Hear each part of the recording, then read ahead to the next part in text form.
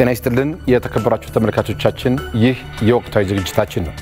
የዛሬው የወቅታዊ ዝግጅታችን ትኩረት የሚያደርገው በፍትህ ሚኒስቴር ክስ ምርመራና ተያያዥ ወቅታዊ ጉዳዮች ጋር የተገናኘ ይሆናል። ውይይት ለማካሄድ እንግዳ ጋብዘናል። እንግዳችን በፍትህ ሚኒስቴር የጠቅላይ አቃቢ ሕግ ዘርፍ ሚኒስትር ዴኤታ አቶ ፍቃዱ ጸጋ ናቸው። አቶ ፍቃዱ እዚህ ስለመጡ እጅግ አድርገን እናመሰግናለን። አመሰግናለን። እንግዲህ በተለይም ላለፉት ጥቂት ዓመታት በተለይም ከለውጥ ወዲህ ማለት ይቻላል የሀገሪቱን ሰላም የሚያናጉ የሚባሉ በጣም ትልልቅ የሚባሉ ከባድ ወንጀሎች በተወሰኑ ክልሎች፣ አካባቢዎች መፈጸማቸው ያው በተለያየ መገናኛ ብዙኃን መዘገቡ የሚታወስ ነው። እነዚህ ክስና ምርመራ ተጀመረ ተብሎ መዘገቡም እንዲሁ ይታወቃልና ውጤቱ ብዙም ሲገለጽ አይሰማም። ምን ላይ ደርሷል ከሚለው ብንጀምር። በድጋሚ አመሰግናለሁ። እንደተባለው ለውጡን ተከትሎ በሀገራችን የተለያዩ ክፍሎች ማንነትንና ሃይማኖትን መሰረት ያደረጉ የተለያዩ ግጭቶች ደርሰዋል። ነገር ግን እንደተባለው ከለውጡ በኋላ ብቻ ሳይሆን ከለውጡ በፊትም በተለያየ ጊዜ ማንነትን መሰረት ያደረጉ ግጭቶች ሲፈጸሙና የወንጀል ምርመራና ክስ ሲደረግ ቆይቷል። ከለውጡ በኋላ ግን በቁጥር ደረጃ የጨመሩ በስፋትም የጨመሩ ሆነዋል። መዛገብቱን በተመለከተ ያው ድርጊቶቹ በተፈጸሙበት የወንጀል ድርጊቶቹ በተፈጸሙበት ቦታዎች ሁሉ ፌዴራል ፖሊስና ቀድሞ ጠቅላይ አቃቢ ሕግ አሁን የፍትህ ሚኒስቴር በየወንጀሉ በተፈጸመባቸው ቦታ ከሚገኙ የህግ አስከባሪ አካላት ጋር በመሆን ምርመራን በማድረግ ክስ በመመስረት በፍርድ ቤት ክርክሮች ሲደረጉ ቆይቶ ከሁለት መቶ በላይ በሆኑ መዛግብቶች ላይ የመጨረሻ ውሳኔ ተሰጥቶባቸዋል። ምናልባት ዋና ዋናዎቹን ብቻ ለመጥቀስ እንደሚታወቀው ለመጀመሪያ ለውጡን ተከትሎ የወንጀል ድርጊት የተፈጸመው በደቡብ ብሔረሰቦች ክልል ሐዋሳ ከተማ በቀድሞ ማለት ነው ከሰኔ አምስት ከአስራ ሁለት የሲዳማ ብሔር ጋር በተገናኘ የሚከበር የጨንበላላ ዓመታዊ በዓል ጋር የተወሰኑ የተነሱ ግጭቶች ነበሩ። በዛ መዝገብ ጋር በተገናኘ ወደ መቶ ሰዎች ላይ በሁለት መዝገብ ክስ ተመስርቷል። እስከ 25 ዓመት በሚደርስ ጽኑ እስራት በተለያየ ደረጃ ፍርድ የተገኘበት ሁኔታ አለ።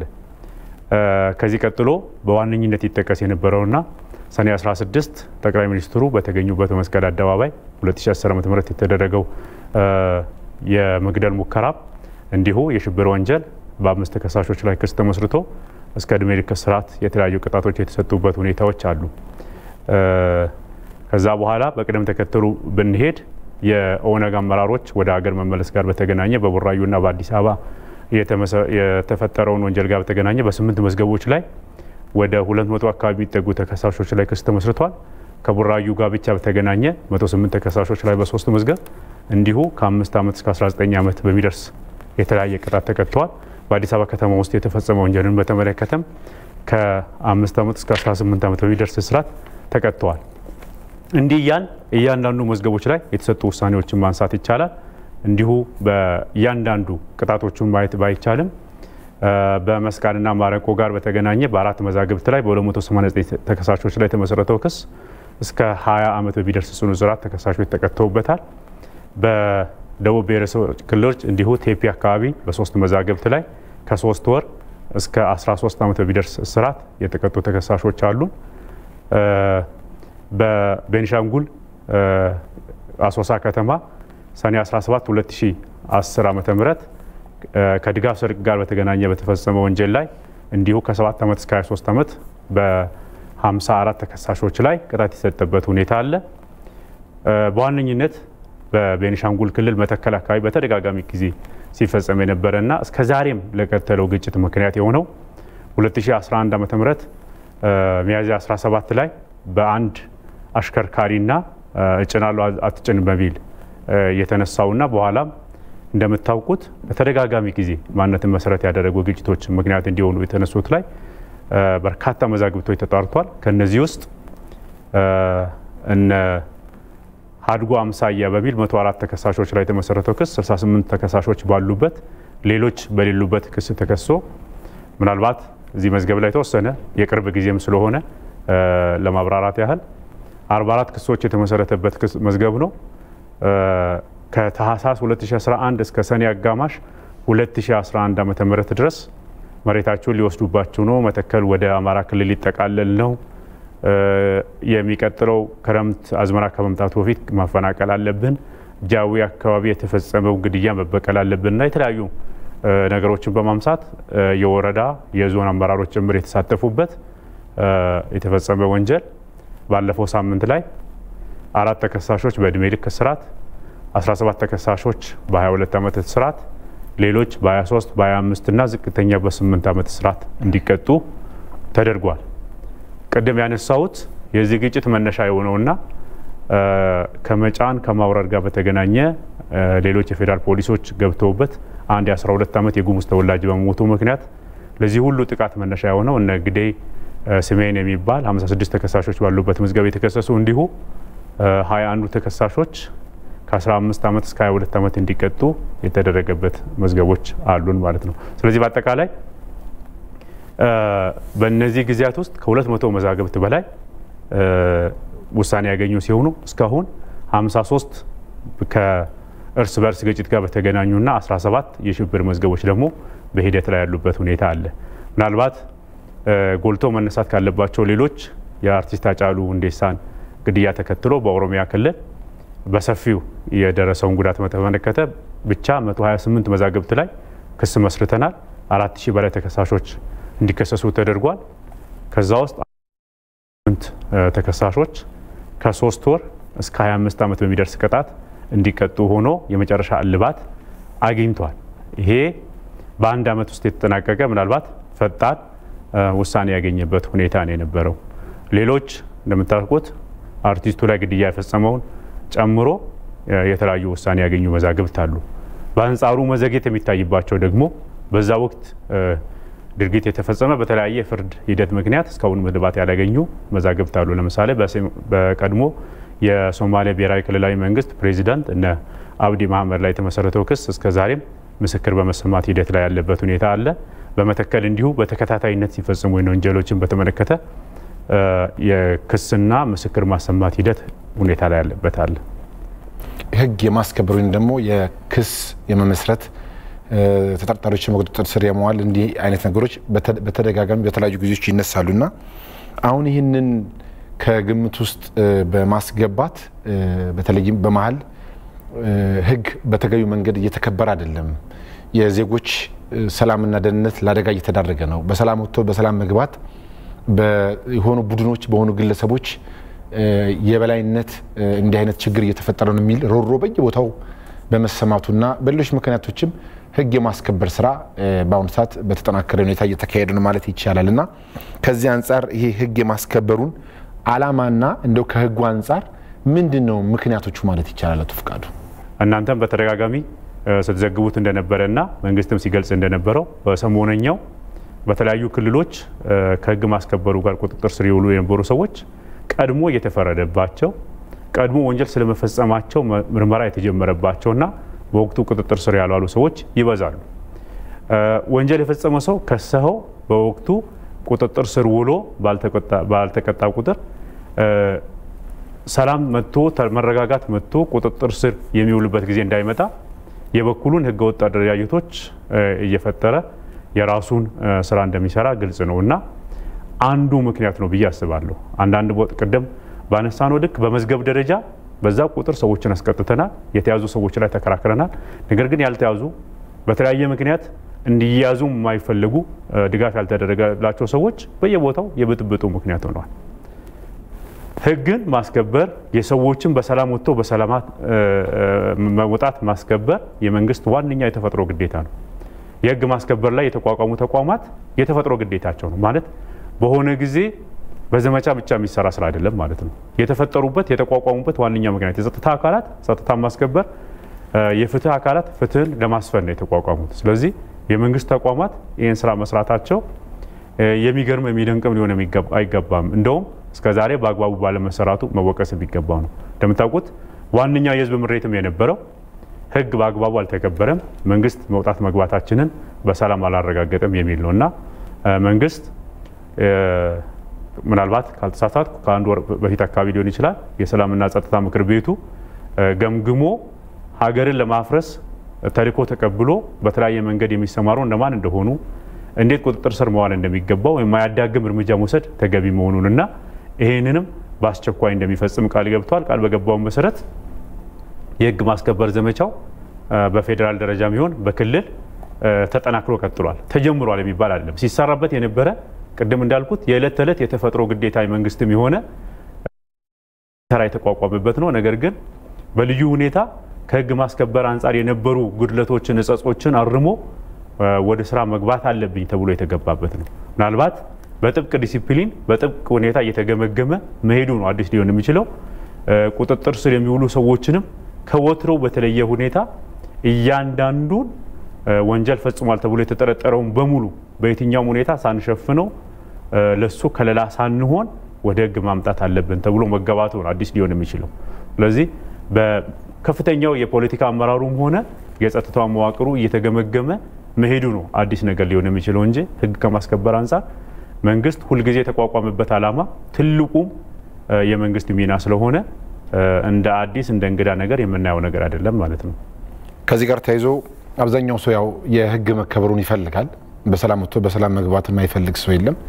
ነገር ግን ከአፈጻጸም ጋር በተገናኘ አንድ የሚነሳ አለ ከህጉ አንጻር በመንግስትም በተለይ ህግ በሚያስፈጽመው በሚተረጉመውም በዚህ ሁሉ ሲገለጽ የነበረ ማንም ዜጋ ሳይጣራ አይታሰርም የሚል ትልቅ የህግ መሰረት ያለው ቃል ይህንን በተወሰነ መልኩ እየተሸረሸረ ነው የሚሉ ሀሳቦች ይነሳሉ እና እንዴት ይመለከቱታል?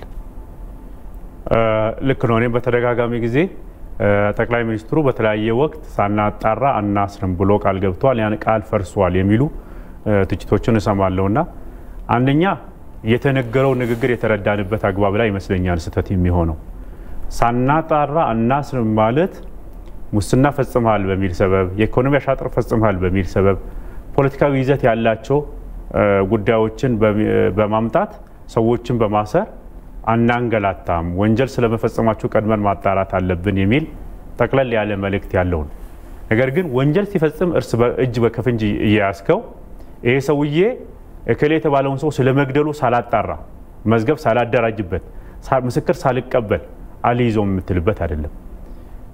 ከሰሞኑ ሁኔታ ጋር ብንወስድ ሀገርን ለማፍረስ የተዘጋጁ ሰዎች በማፍረስ መዘጋጀት ብቻ ሳይሆን ዝግጅታቸውን በተለያየ መንገድ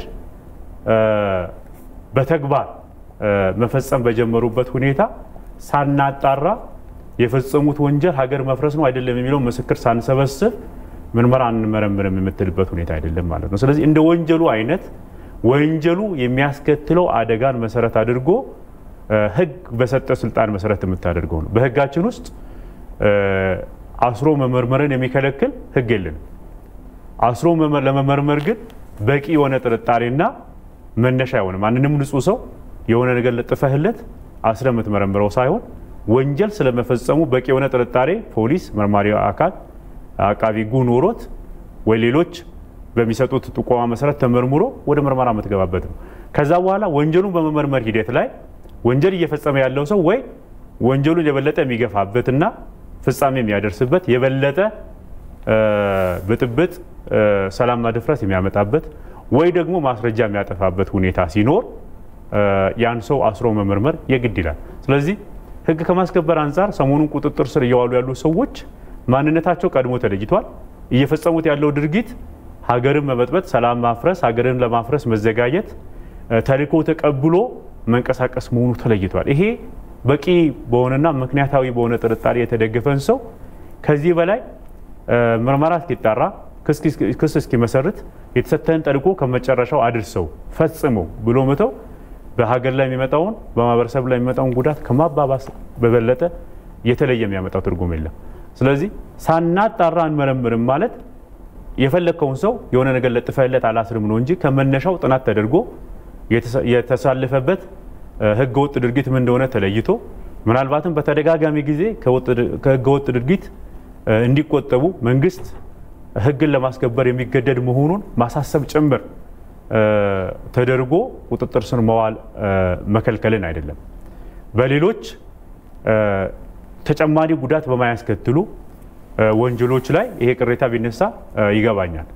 ለምሳሌ የሙስና ወንጀልን ብትመረምር ሙስና ፈጸመ ያልከው ሰውዬ already ወንጀሉ ፈጽሞታል። ሀብቱን እንዳያሸሽ መከላከል ከቻልክ፣ ሰውየው ከሀገር እንዳይሸሽ መከላከል ከቻልክ ወንጀሉ ስለመፈጸም አለመፈጸሙ አጣርተህ ብታስረው ጊዜ ይሰጣል። ምክንያቱም ያ ሰው ወይ በስልጣን ላይ የለም ወይ በስልጣን ላይ ቢኖርም already ፈጽሞታል። ከዛ በኋላ የሚያስቀረው ነገር የለም። ቢከፋ ማስረጃ ማጥፋት ሊሆን ይችላል። እሱም በጥንቃቄ ሰርተህ ልታደርገው ትችላለህ። ነገር ግን ህገ መንግስታዊ ስርዓትን በኃይል ለማፍረስ ለመናድ መሞከርን ሽብር ለመፈጸም የተዘጋጀን ሰው የመጣውን ፈንጅ እስኪያፈነዳው እስኪጠምደው ወይ ደግሞ ለፈንጅ መስሪያ የሆነውን ኬሚካል ፈንጅ እስኪሰራበት እያልክ የምጠብቅበት ሁኔታ የለም። ሀገር ለማፍረስም የተዘጋጀን ሰው ሀገር እስኪያፈርስ ብጥብጡን እስኪያነሳ ትጥቅ ትግሉን እስኪጀምር ተኩሶ እስኪገድል ብለህ የምጠብቅበት ሁኔታ አይኖርም ማለት ነው። ምክንያት እስካለ ድረስ ምክንያቱም ደግሞ በቂ እስከሆነ ድረስ በጥናት ላይ ተመስርቶ እስከተለየ ድረስ አጣርተን ማሰራችንን የሚያሳይ እንጂ ሳይጣራ መታሰሩን የሚያሳይ አይደለም ማለት ነው። ከዚሁ ጋር በተያያዘ በተለይ አሁን ወደ ሰሞኑ መለስ ስንል መቼም ይሄ ነው የሚል እኔም ይሄንን ጥያቄ ሳነሳሉት ተጨባጭ መረጃ እጄ ላይ ኑሮ አይደለም።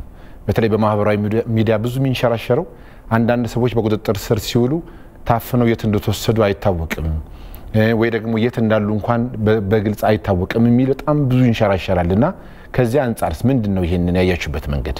ጥሩ አንተ እንዳልከው መንገድ እኔም የምንሰማው ነው። ሁላችንም እዚህ ሀገር ውስጥ ስላለን ስንሰማው ስናየው የነበረው ነገር ነው። አሰራሩን ነው መግለጽ የምንችለው። በህገ መንግስታችን አንቀጽ 17 መሰረት ማንም ሰው ያለ ፍርድ ቤት ትዕዛዝ የመዘዋወርና ሌሎች መብቶቹ እንደማይገደብ በግልጽ ተቀምጠዋል። ዓለም አቀፍ የፈረምናቸውና የሀገራችን የህግ አካል የሆኑትን ሰነዶችን ሰዎች በህጋዊ መንገድ መዘዋወር መብት ተሰጥቷቸዋል። መንግስት በቂ ምክንያት ሲኖረው፣ ጥርጣሬ ሲኖረው፣ የተወሰነ መነሻስ ነገር ሲኖረው አስሮ የመመርመር የተፈጥሮ መብት ደግሞ አለው። የተፈጥሮ መብት ያለው መንግስት አፍኖ የሚያስርበት አሰራር አለ ብዬ አላስብም። እስካሁኑ ባለበት ሁኔታ መንግስታዊ በሆነ መዋቅር በኩል የተፈጠረ የተፈጸመ ይሄ ነው የሚባል አቤቱታ በግልጽ መጥቶ ምርመራ እንዲጀመርለት ያመለከተ አካል የለም። ስለዚህ እንደ መንግስት እንደ ጸጥታ መዋቅር እንደ ህግ ማስከበር መዋቅር ሰብአዊ መብት ጋር በተገናኘ ባለፉት አራት ዓመታት ማንም ሰው መጥቶ ሊያይ በሚችል ሁኔታ መሻሻሉ ከፍ ያለበት ሁኔታ ነው ያለው። የፖሊስ የማቆያ ቦታዎችን ማንም ሰው ሊያይ ይችላል። የተጠርጣሪዎች ቃል አቀባበልን ከተጠርጣሪዎች ከራሳቸውም ሆነ ከተለያዩ ሰነዶች ዴስክ መስራት ይቻላል። ሰብአዊ መብት የበለጠ የተከበረበት ምናልባትም ምናልባትም መርማሪ አካላት አንዳንድ ሁኔታ ላይ እየተሸማቀቁ ጭምር አንሶ ተገኝቶ ምርመራ የሚሰሩ ትንሽ ከአንደኛው ጠርዝ ወደ አንደኛው ጠርዝ ሄድ የምንልበት ምክንያት ከሌለ በስተቀር ከሰብአዊ መብት አያያዝ ጋር የሚነሱ ትላልቅ ነገሮች አሉ ብዬ አላስብም። ነገር ግን የተባለው አፈና የተባለው መጥለፍ እና ሌሎች ነገሮች አሉ ከተባለ በህጋችን ወንጀል የሆኑ የሚያስቀጡ ናቸው። ድርጊቱ የተፈጸመው ደግሞ በመንግስት አካላት ከሆነ ቅጣቱ ከብዶ የሚቀጣበት ሁኔታዎች አሉ። የወንጀል ህግ አንቀጽ 585ን፣ 586ን፣ 423ን፣ 595ን ማየት ይቻላል። በተለይ 585 ከመንግስት ስራ ውጭ ያሉ ሰዎች ወንጀሉን በሚፈጽሙበት ጊዜ illegal restraint ወይም በህገ ወጥ መንገድ ይዞ ማቆየትን በተመለከተ የሚቀጣበት ነው። የወንጀል ህግ 423 ደግሞ የመንግስት ሰራተኛ ሆኖ በህገ ወጥ መንገድ እስርን የፈጸመ እንደሆነ የሚቀጣ ነው። 585 ላይ ቅጣቱ አነስ የሚል 423 ላይ ግን እስከ ሰባት ዓመት በሚደርስ ጽኑ እስራት የሚያሳስር ሆኖ ይገኛል። አንቀጽ 586 ከጠለፋ ጋር በተገናኘ ቅጣቱን የሚያከብድበትና 595 ጠለፋው ከፖለቲካ ጋር በተገናኘ በሚሆንበት ጊዜ እስከ 15 ዓመት ድርጊቱን የመሩ ሰዎች እስከ 20 ዓመት ሊቀጡ እንደሚችሉ ያስቀምጣል። ስለዚህ የወንጀል ህጉ ህገ ወጥ ነው እንደዚህ አይነት ነገር ብሎ አስቀምጧል። መንግስት አፈናን አድርጓል ብሎ የሚያነሳ እንደ አካል እንደ መንግስታዊ ተቋም የሚነሳበት ሁኔታ በምንም መንገድ ይኖራል ብዬ አላስብም። ምክንያቱም አፋኝ የሆኑ ህጎችን በማሻሻል የሚታወቅ ለውጥ መሆኑ ማንም ያውቀዋል። የሰውን መብት በዋስትና እና በተለያዩ መንገዶች የሚገድቡ አፋኝ የነበሩ ህጎች በግልጽ የተሻሻሉበት ነው። ስለዚህ መንግስት የነበረውን ህግ ተጠቅሞ ስራውን መስራት እየቻለ የዜጎችን መብት ያፍናሉ ብሎ ያሰባቸውን ህግ በፊት ለፊት ህዝብን በማወያየት ሙያተኞችን በማማከር እያሻሻለ በሌላ መንገድ ደግሞ አፈና አድርጓል የሚባልበት ሁኔታ አይኖርም ማለት ነው። መንግስት መዋቅር የጸጥታ መዋቅሩ በተለይ መርማሪው አካል ሰዎችን ቁጥጥር ስር ሲያደርጉ በወንጀል ጠርጥሮ በሁለት መንገድ መያዝ ህግ መብት ሰጥቷቸዋል። ወይ በፍርድ ቤት ትእዛዝ፣ ህጉ በሚፈቅድበት ሁኔታ ደግሞ ያለ ፍርድ ቤት ትእዛዝ መያዝ ተፈቅዷል። የስነ ስርዓት ህጉ የወንጀል ስነ ስርዓት ህጉ አንቀጽ 51 ላይ በግልጽ ከፍርድ ቤት ትዕዛዝ ውጭ ሰዎችን ማሰር የሚቻልባቸው ሁኔታዎች ምን ምን እንደሆኑ በዝርዝር ተቀምጧል። ሰፋ ያሉ ነገርም ስለሆኑ ማለት ነው። ስለዚህ መርማሪው አካል ቁጥጥር ስር የዋለው የፍርድ ቤት ትዕዛዝ የፍርድ ቤት ትዕዛዝ ያልያዘው ደግሞ ሲሆን ህግ ይፈቅድለታል አይፈቅድለትም እየተባለ የሚመረመር መሆኑ ልብ ሊባል ይገባል። ከነዚህ ነገሮች ሁሉ ወጣ ብሎ ስልጣንን ያለአግባብ መጠቀም ግን ቅድም እንዳስቀመጥኩት ወንጀል ማንም በመንግስት ስልጣን ላይ ያለ ሰው ከህግ በታች ነው። በሀገሪቱ ህግ ነው የሚመራው። መንግስት የምሄደው የምመራው ህዝብን ማገለግለው ጽፌ በምክር ቤቱ ባጸደቅኩት ህግ መሰረት ነው ብሏል። ምክር ቤቱ አጽድቋል። ከዛ መውጣት አይፈቀድም ለማንም ሰው ቢሆን። ወጥቶ የተገኘ ሲሆን ቅድም እንዳልኩት በተለያየ መንገድ አቤቱታ ቀርቦ በማስረጃ ተደግፎ ማጣራት ተደርጎ እስከ መጨረሻው የሚካሄድበት ሁኔታ ይኖራል ማለት ነው። እነዚህ ሰዎች በቁጥጥር ስር ከዋሉ እንዶ ታፈነ፣ የሄደበት አይታወቅም፣ የተወሰደበት አይታወቅም ተብሎ በጣም እስኪናፈስ ድረስ ያሰረው አካል ለምንድን ነው እነዚህ ሰዎችን በቁጥጥር ስራው እያሉ ብሎ መግለጫ ለምንድን ነው ማይሰጠው? ለህዝቡ ለምንድን ነው ማይገልጸው? ለምንድን ነው ድብቅ የሚያደርገው የሚሉ ነገሮች ይነሳሉ እና ይህንን ሀሳብ እንዴት ይመለከቱታል? በሁለት መንገድ ማየት ተገቢ ነው ብዬ አስባለሁ። የመጀመሪያው ነገር እያንዳንዱን ነገር ለህዝብ ኮሚኒኬት ማድረግ መግለጽ የመንግስት ግዴታ ነው። ከወንጀል ምርመራ ጋር በተገናኘ ግን ለየት ያሉ ነገሮችን ማየት ጥሩ ነው። ወንጀሉ እየተፈጸመ ያለው በቡድን የሆነ እንደሆነና የጠረጠርከውን ሰው በሙሉ በቁጥጥር ስር ሳታውል ቁጥጥር ስር የዋሉትን ሰዎች ዝርዝር ባቀረብክ ቁጥር በዛ ወንጀል መፈጸም ላይ የተሳተፉ ሰዎችን ቁጥጥር ስር ማድረግ ጀምር ያለው ሽሹ የሚል መልእክት ነው የምትሰጠው።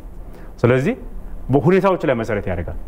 የተጠረጠረውና ቁጥጥር ስር የሚውለው ሰው ብቻውን የወንጀሉን የፈጸመ የዛ ሰው መያዝ በይፋ ቢወጣ ሌሎች የዛን ሰው መያዝ ተከትሎ ሊያመልጡ ሊሸሹ ራሳቸው ሊሸሽጉ የሚችሉ ሰዎች በሌሉበት ሁኔታ ተገቢው መፈጸም አለበት ብዬ አስባለሁ። ነገር ግን የወንጀል ምርመራ ቅድም ባልኩ ምክንያት የተለየ ሁኔታ ስለሚፈልግ ህጋዊነቱ እስካለ ድረስ በእያንዳንዱ ሁኔታ ተነስቶ እነከሌን ይዣለሁ ማለትን የሚጠይቅ አይደለም። ብቻውን የተጠረጠረ ሰው እንኳን ቢሆን ቤተሰቦቹና ሌሎች ሰዎች የሚያሸሹት ነገር ሊኖር ይችላል። ቤት ብርበራ ማድረግ አለብህ። የሚሰራበትን ቦታ ብርበራ ማድረግ አለብህ። የሚጠቀምበትን ተሽከርካሪ ብርበራ ማድረግ አለብህ። ከዛ ቦታ የምትይዛቸው ኤግዚቢቶች ይኖረዋል። የወንጀሉን ፍንጭ እና ማስረጃ የምታገኝባቸው ሁኔታዎች ይኖረዋል። ስለዚህ በምርመራው ቀድመህ የምትሰራቸውን ስራዎች ሳታጠናቅቅ ሰውየው ቁጥጥር ስር በዋሉ ብቻ declare ማድረግ ወይም ማወጅ መግለጽ የሚያመጣቸው አሉታዊ ተጽዕኖዎች ተገምግሞ ስራው መሰራት መቻል አለበት ማለት ነው። ስለዚህ አንዳንድ ጊዜ መንግስት በህጋዊ መንገድ ቁጥጥር ስር አውሎ ነገር ግን በማህበራዊ ሚዲያዎችና በተለያዩ ሁኔታዎች ጫጫታዎች እየተፈጠሩ ዝም የሚባልበት አስቀድሞ ከወንጀል ምርመራ አንጻር መሰራት ያለባቸው ስራዎች ስላሉ እነዛ መስራት ስላለብንም ነው። ስለዚህ ሁኔታዎች ይለያሉ። አሁን ሰው እየተያዘ ያለው በማስረጃ አስደግፈ እሱ ደብቆ የሰራውን ወንጀል ለዳኛ አስረድተ ለማስቀጣት ነው። ስለዚህ ማስረጃ የምናገኘው ከተለያየ ቦታ ማስረጃ አንዱ ቅድም እንዳልኩት ወንጀል ፈጽሟል ተብሎ የተጠረጠረው ሰው በቤት ውስጥ ይዞ የሚገኛቸው ነገሮች ከሱ የምንሰበስባቸው ማስረጃዎች ናቸው። እነሱን በእጅ ሳታስገባ እከሌን ይዣለሁ ብለህ በገለጽኩ ቁጥር ቤት ያለውን ነገር አሽሹለት፣ ቤተሰቦቹ ደብቁለት፣ ምስክር ሊሆኑ የሚችሉ ሰዎች ላይ ጫና ፍጠሩ እያልክ የምትሄድበት ሁኔታ ይኖራል ማለት ነው። ስለዚህ እንደ ሁኔታው እየተገመገመ የምርመራን የሚያግዙ የማያደናቅፉ ነገሮች እየታዩ መግለጫ የምትሰጥበት ነው መሆን ያለበት። እንደውም አንዳንዴ እኛ እንደ ሙያ ቀድሞ ይቀድማሉ ጭምር እናነሳለን። አንዳንድ ምርመራዎች ላይ ምርማሪ ፖሊስ ማሳወቅ በሌለበት ሁኔታ እያሳወቀ ነው፣ ምርመራው ሳያልቅ ነው ብለን ጭምር ቅሬታዎች የምናነሳባቸው ሁኔታዎች ነው ያሉት እና ይሄ እንደየጉዳዩ case by case የሚታይ ነው የሚሆነው ማለት ነው። የኢትዮጵያ ሰብአዊ መብት ኮሚሽን ከሰሞኑ የወጣው ሪፖርት ደግሞ ከአያያዝ ጋር ተያይዞ ችግሮች አሉ ብሏል እና ምናልባት ይህን መግለጫ አይቶታል ብዬ አስባለሁ። እንዴት ተመለከቱት? የኢትዮጵያ ሰብአዊ መብቶች ኮሚሽን የሀገሪቱን የሰብአዊ መብት አያያዝ ለማገዝ መንግስት ስህተት ፈጽሞ በተገኘ ጊዜ ለመውቀስና ሕግ በማስከበር ላይ የተሰማሩ ተቋማት ያንን ኮሚሽኑ ያወጣው ሪፖርት መሰረት አድርጎ ወንጀል ከሆነ የወንጀል ድርጊቶችን ስለመፈጸማቸው እንዲመረምሩ፣ በአስተዳዳሪ መንገድ ደግሞ የሚታረሙ ከሆነ በአስተዳዳሪ መንገድ መንግስት እንዲያርመው መንግስት በአዋጅ ያቋቋመው አካል ነው። ስለዚህ አይቻቸዋለሁ ብሎ የጠቀሳቸው ግድፈቶች ሳይኖሩ የተጠቀሱ ናቸው የሚባሉ አይደሉም። ግድፈቶቹ በተለያየ ሁኔታ አሉ። ስለዚህ ቅድም እንዳነሳሁት የተዘረጋው የመንግስታዊ መዋቅር ያንን ግድፈት እንድትፈጽም የማይፈቅድ ቢሆንም ህጎቻችን ያንን የማይፈቅዱ ቢሆንም ወይ በቸልተኝነት ወይ በተለያዩ ምክንያቶች አንዳንድ የመንግስት መዋቅር ውስጥ ያሉ ሰዎች የፈጸሟቸው ግድፈት ስለመሆናቸው አያጠያይቅም። ስለዚህ እነዚህ ግድፈቶች መታረም አለባቸው ተብሎ የተቀመጡ ናቸው። እንደየ ሁኔታው ወንጀል ሆኖ የሚገኙና በምርመራ ልንሄድባቸው የሚገባ ከሆነ ሪፖርቱን መሰረት አድርገን የምንመረምረው ለህዝብ የምናሳውቀው ነው የሚሆነው። በአብዛኛው ግን ይሄ ወቀሳ እና ሪፖርት የቀረበባቸው መንግስታዊ ተቋማት ሪፖርቱን መሰረት አድርጎ ማረም ያለባቸው ናቸው ብዬ ነው የማስበው። ስለዚህ በህግ በተሰጠው ስልጣን መሰረት ያቀረበው ሪፖርት ነው። ድርጊቶቹ ሊኖሩ እንደሚችሉ ምንም አያጠያይቅም። ገና በብዙ ምክንያት በጣም ብዙ ችግሮች ያለበት የፍትህ ተቋም የህግ አስከባሪ ተቋም ነው ያለን። ገና ብዙ ነገሮች ይቀሩናል። በአቅም አቅም ስንል በሰው ኃይል አቅም፣ በአመለካከትም በብቃትም ህግና ህግን ብቻ መሰረት አድርጎ ከመስራት አንጻር ያሉብን ውስንነቶች አሉ። ከአቅርቦት አንጻር ያሉብን ውስንነቶች አሉ። እነዚ አቅርቦቶች ባለመሟላታቸው ደግሞ በሰው ኃይልም በማቴሪያልም እነዚ ነገሮች ባለመሟላታቸው ሰብአዊ መብት ላይ አሉታዊ ተጽዕኖ የሚያመጡ ድርጊቶች ለመፈጸም የሚያስገድዱ ነገሮች ይኖራሉ። ስለዚህ ቅድም ያልኩት ከሰብአዊ መብት አያያዝ ላይ ፌዴራል ተቋማት ጋር ያሉ እያንዳንዱ ነገሮችን ብታይ በጣም ተሻሽለዋሉ። ወጣ ባልን ቁጥር ግን የሰው ኃይሉ በአመለካከትም በአቅምም ደረጃ ገና በመሆኑ የፍትህ ስርዓቱ ለረዥም ጊዜ ተዘንግቶ በደንብ ሆነ ተብሎ እንዳያድግ የነበረ ከመሆኑ አንጻር ገና ልምምዶቹ በህግ መንገድ መስራት የነበሩ ልምምዶች ገና በመሆናቸው የሚወጡ ነገሮች ሊኖረው ይችላሉ ብዬ አስባለሁ። ቀደም ሲል እንግዲህ የተወሰኑ ነገሮችን አሁን በተለይ እነዚህ ሰፋፊ የህግ የማስከበር ስራ በተቀናጀና በተደራጀ አኳኋን እየተካሄደ ያለውን ምርመራ ምክንያቱን የተወሰነ መልኩ ጠቅሰውልኛል እና አሁን ከሚነግሩኝ አንጻር እገሌ ገሌ ሳይባል በነዚህ ሀገር ለማፍረስ ወንጀል ውስጥ ተጠርጥሯል የተባሉ አካላት በቁጥር ስር እየዋሉ ነው እና ምናልባት ያልገለጹልኝ ካለና ምክንያቱ ምንድን ነው ማለት ይቻላል። መቼ ምርመራን ቀደም አድርጎ እንዲህ ነው እንዲህ ነው ማለት ባይቻልም እንደው ለግንዛቤም የሚገልጹልኝ ነገር ካለ የመጀመሪያው ነገር እንደሚታወቀው ይሄ ለውጥ ከመጣ በኋላ ከለውጡ ህዝብ እንዳይጠቀም መንግስት ተረጋግቶ ሀገር እንዳይመራ የሆነ አመታዊ እቅድ የሶስት ዓመት እቅድ የአምስት ዓመት እቅድ ብለ በደንብ ቁጭ ብለ የምትሰራው በሚሆን በሚመስል መንገድ አንዱን ምርመራ ጨረስ ነው ሀገርም ጥሩ ነው እፎይ ልትል ነው ብለ ስታሰብ ሌላ ተልእኮች የተሰጡ ሌሎች ብጥብጦች የሚነሱባቸው ሁኔታዎች የነበረ ስለመሆኑ ግልጽ ነው። ዝም ብለ ጊዜዎቹን ብናስቀምጥ ወደኋላ ወስደን ኮንሲኮንሶቹ ያንን ያሳዩኋል በደንብ ግልጽ በሆነ ሁኔታ ማለት ነው። ስለዚህ እነዛ ነገሮች ይደረጉ የነበረው በአጋጣሚ ብቻ አይደለም፣ ታቅዶበት ለውጡ ጥቅማችንን አስቀርተዋል ብሎ ያኮረፉ የውስጥም የውጭም አካላት የዚህ ስርዓት መጎልበት ከህዝብ ጋር እጅና ጓንት ሆኖ መቀጠል የምንፈልገውን ዓላማ አያሳካም፣ ጥቅማችንን ያስቀራል ብሎ የሚያስቡ አካላት ያላሰለሰ ጥረት ሲያደርጉ ነበረ። በትክክልም በጀት በጅቶ ፕሮጀክት ሰርቶ በሚመስል ሁኔታ በሰነድ ጭምር ያገኘናቸውና ለዚህ ያሳወቅናቸው ነበር። በተለይ ከ TPLF ጋር በተገናኘ በእያንዳንዲቱ የአካባቢ የሚፈጸሙ ግጭቶችን ስፖንሰር ሲያደርጉ የነበረበት ሁኔታ ስለመኖሩ ከዚህ በፊትም በመግለጫም በምርመራ ግኝታችን ለህዝቡ የገለጽንበት ነው። አንዱ አኩራፊዎች መንግስት ተረጋግቶ ሀገርን መርቶ እቺን ሀገር ወደ ተሻለ እድገት ደረጃ እንዳያደርስ ከማሰብ የመጣ ነው የሚለው ግልጽ ነው። ስለዚህ አንዳንዱ ብጥብጥ ከሌለ ደፈረሰ የሚል ዜና ከሌለ ዘግቦ በማህበራዊ ሚዲያ ላይ የሆነ ነገር ብሎ እንጀራ ማያገኝ ስለሆነ ሁል ጊዜ ብጥብጥ አለ ብሎ መደፍረስ አለ ብሎ መዘገብህን የሚመርጥ ያ ደግሞ ለእሱ እንጀራው የሆነ ያንን ካልሰራ መኖር ማይችል ስለዚህ በመበጥበጥ መካከል በሰላም ማደፍረስ መካከል እንጀራ የሚበላ እንጀራ የሚጋግር ሰው የዚህ ድርጊት ምክንያት ነው። ሌላው ተልእኮ ተቀብሎ የሚፈጽም ነው። ተልእኮ ለሱ ገቢ እስካመጣለት ድረስ ሀገር ቢፈርስ ባይፈርስ፣ የህዝብ ሰላም ቢናጋ ባይናጋ ጉዳዩ አልሆነ። ሌላው ደግሞ ይሄ መንግስት ፈርሶ ለውጥ ወደኋላ ተመልሶ ሌላ አካል ቢመጣ እኔ ስልጣኑ ላይ ያለው እጠቀማለሁ ብሎ የሚያስብ አካል ታገኛለህ። ሌላው ቅድም እንዳነሳውልህ በተለይ አሁን የሚያዙ ሰዎች ጋር በተገናኘ ወንጀል ፈጽሞ የነበሩ በሌሉበት የተፈረደባቸው ተከሶ ክሳቸው የተቋረጠ ተጠርጥሮ ሳይያዙ ያመለጡ ሰዎች ሰላም የሆነ እንደሆነ ነገሮች የተስተካከሉ እንደሆነ ቁጥጥር ስር እንደሚውሉ ያውቃል። ይህ ብቻ አይደለም። በመንግስት መዋቅሩ ውስጥ ሙስናን ፈጽሞ የዚች ሀገር ሰላም ተመልሶ ሁሉ ነገር ቢረጋጋ እንደሚጠየቅ ያውቃል። ስለዚህ ሁሉም በየራሱ ፍላጎት ሀገር ማተራመስ የእሱ አጀንዳ ነው ማለት ነው። ሀገር ማተራመስ የእሱ ፍላጎት ነው ማለት ነው። እነዚህ ትላልቅ ምክንያቶች ናቸው ብዬ አስባለሁ። ስለዚህ ከቅርብ ካለን ከውሃ ጋር ከሚገናኙ ከህዳሴ ግድብ ጀምሮ ያሉ ውጫዊ ተጽዕኖዎች ከሰሜኑ ሀገራችን ክፍል ጋር ከቲፒኤልኤፍ ጋር የተያዙ ጉዳዮች እና ሌሎች ቅድም ባልኩት ምክንያት ብጥብጥ ከሌለ መኖር የማይችሉ ሰዎች ስልጣን በምርጫ ማግኘት ካልተቻለ እና በህገወጥ መንገድ ማግኘት ደግሞ አማራጭ ነው ብሎ የሚያስቡ ሰዎች የዚህ ሁሉ ምክንያት ናቸው ብዬ አስባለሁ። እንግዲህ የተቋም መገንባት በጣም መሰረታዊ ስራ ነው ብሎ ብዙዎች ይስማማሉ።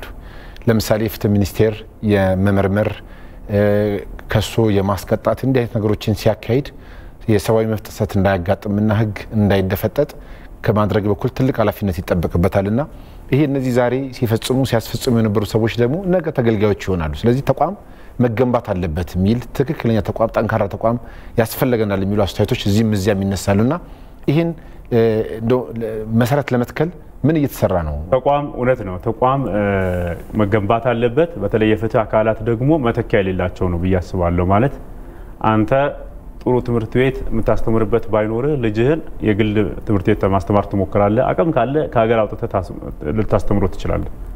ጥሩ ሕክምና እዚህ ሀገር ላይ ማግኘት ካልቻልክ ወጥተህ ልትታከም ትችላለህ፣ አቅም ካለ። መንግስት የሚሰጥህ ሕክምና ደግሞ አይሆንም ካልክ ግሉ ጋር አቅሙ ካለ ሄደህ ትገለገላለህ። የፍትህ ተቋማት ግን መተኪያ የሌላቸው ናቸው። የግል አቃቢ ሕግ ልታገኝ አትችልም። የግል ዳኛ ልታገኝ አትችልም። የግል ፖሊስ ልታገኝ አትችልም። ስለዚህ በፍትህ ተቋማት ላይ ስራ መስራት የመንግስት ዋነኛ ስራው ነው። መንግስት እያደግን ስንሄድ እኛም እንደ ሀገር ልናደርገው የምንችለው ገበያ ውስጥ ገብቶ ፋብሪካ መስርቶ የፋብሪካ ምርትን ለህዝብ የሚያከፋፍል የሚነግድ አይደለም። መንግስት መንግስት አገልግሎት የሚሰጥም አይደለም። ማለት አገልግሎት የሚሰጥ አይደለም ሲባል የሚሸጥ የሚገዛ አይደለም። መንግስት more regulatory ስልጣን ያለው የህግ እያወጣ በህግ መሰረት ስለመሰራቱ ቁጥጥር ሊያደርግ የሚችል ነው። ወደዛ ነው የምንሄደው በሂደት ሌሎች የሰለጠኑ ሀገራት ወደሚደርሱበት ነው የምንሄደው። ስለዚህ እዚህ ቦታ እንድንደርስ ከተፈለገ ተቋማትን መገንባት በአሰራር በህግ መደገፍ የግድ ይላል ማለት ነው። እንደ ፍትህ ሚኒስቴር የአቃቢያን ህግ መተዳደሪያ ደንብ ላይ አቃቢያን ህግ ከፖለቲካ ነፃ እንዲሆኑ በግልጽ ተቀምጧል። የማንኛውም የፖለቲካ ፓርቲ አባል መሆን በዲሲፕሊን ጭምር የሚያስጠይቅ ነው። አባል መሆን ብቻ ሳይሆን የነዛን የፖለቲካ ፓርቲ ወገንተኝነትን በሚያሳይ መንገድ በተለያየ መንገድ መጽሐፍም ሌሎች ነገሮች ማድረግም የሚያስጠይቁ ናቸው። አቃቢ ህግ ህዝብን ወክለው ነው ያለው። ከፖለቲካ ወገንተኝነት በጸዳ ሁኔታ ሁሉንም በዘር፣ በሃይማኖት፣ በጾታ፣ በአካል ጉዳት፣ በሌሎች ማህበራዊ መሰረቶች ላይ ሳያዳላ ማገልገል ያለበት ተቋም ሆኖ እንዲገነባ ነው የሚፈለገው እና የህግ መሰረት ለማስተካከል ተሞክሯል። በተግባርም እያንዳንዱ ባለሙያ በዚህ መንገድ ስምሪት እንዲወስድ ከእለት ዕለት ስራዎች ለመስራት ተሞክሯል። ነገር ግን ያለፉት አራት ዓመታት ተቋማትን ቁጭ ብለን የምንገነባበት አልነበረም። እንደምታውቁት ሁላችሁ ስራዎች እየተሰሩ ግጭቶች ባሉባቸው ሁኔታዎች ሁሉ ምርመራዎች እየተመረመሩ ከስህተቶቻችን እየተማር እየተገነባን የምንመጣበት ሁኔታ ነው የነበረው። ማለት በተፈለገው ልክ ለውጡን ብቻ የሚመራ መንግስት ቢሆን ኖሮ እነዚህ ተቋማት የት ሊደርሱ እንደሚችሉ ማንም ሊገምት ይችላል። እንግዲህ የፍትህ ስርዓት ጉዳይ ሲነሳ በጣም ሰፊ ጊዜ ነው የሚወስደው። ብዙ ነገሮችን አላነሳንም ይሰማኛል። በተለይም ደግሞ አሁን በቅርቡ ከዚህ ከቲፒኤልኤፍ የተለያዩ ወንጀል አፈጻጸሞች ጋር ተያይዞ የተጀመሩ ምርመራ መዝገቦች አሉ። እነዚህ እነዚህም በጣም በርካታ ጉዳዮች እናነሳለን። በቀጣይ ስንገናኝ ደግሞ ይሄ አሁን የደረሰበትን የምርመራ ውጤትና ተያያዥ ጉዳዮችን የምናነሳ ነው የሚሆነው። ስለ ጊዜዎት ግን በጣም አድርጌ አመሰግናለሁ። እግዚአብሔር ይስጥልኝ። የተከበራችሁ ተመልካቾቻችን ከፍትህ ሚኒስቴር በተለይ የምርመራ ክስና ሌሎች ተያያዥ ጉዳዮች ጋር ያነሳነው ውይይት በዚህ ተቋጭቷል። እዚህ ስቱዲዮ ድረስ መጥተው ይህንን የመሰለ ማብራሪያ የሰጡን በፍትህ ሚኒስቴር የጠቅላይ አቃቢ ሕግ ዘርፍ ሚኒስትር ዴኤታ አቶ ፍቃዱ ጸጋን ከልብ አመሰግናለሁ። በውይይቱ ጥላሁን ካሳ ከሙሉ የስቱዲዮ ባለሙያዎች ጋር አብሬያችሁ ቆይቻለሁ። መልካም ጊዜ